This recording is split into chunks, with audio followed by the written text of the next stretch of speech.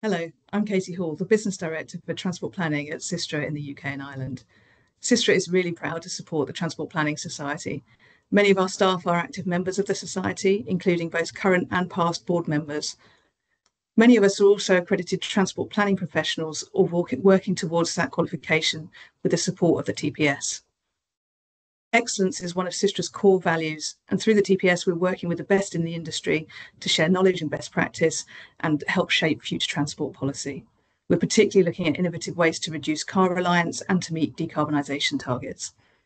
If you'd like to find out more about our transport planning expertise, please get in touch or visit our website.